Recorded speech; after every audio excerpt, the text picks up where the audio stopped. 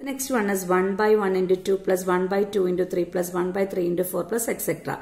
Nth term is 1 by n into n plus 1 because first term is 1 into 2 the denominator. Second term is 2 into 3. So the nth term will be 1 n into n plus 1 and nth term will be 1 by n into n plus 1. Okay, that is equal to, we are going to do this question in another way. Instead of 1 by n into n plus 1, I can rewrite it as 1 by n minus 1 by n plus 1. Because if we take the LCM, what we get is n plus 1 minus n by n into n plus 1. So n get cancelled giving you 1 by n into n plus 1. So this term can be written like this 1 by n minus 1 by n plus 1.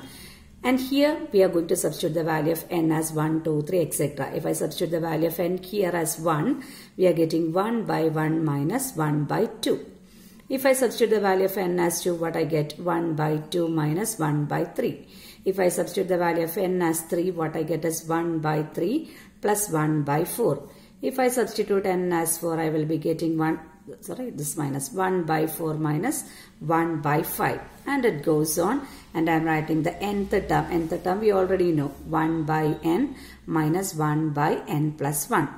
And I, again I am going to add all these terms. So what will be the left side? a1 plus a2 plus a3 plus etc plus an is equal to. Here you can see 1 by 1 minus 1 by 2 plus 1 by 2 minus 1 by 3 plus 1 by 3 minus 1 by 4 like that it goes isn't it so minus 1 by 2 and plus 1 by 2 gets cancelled minus 1 by 3 and plus 1 by 3 gets cancelled minus 1 by 4 and 1 by 4 gets cancelled minus 1 by 5 and the next term 1 by 5 will be next term of, of the next term that means the fifth term first term will be 1 by 5 it will get cancelled likewise in the nth term 1 by n and 1 by n plus 1 if you are following the pattern which term will get cancelled? 1 by n get cancelled leaving 1 by 1 in the first term.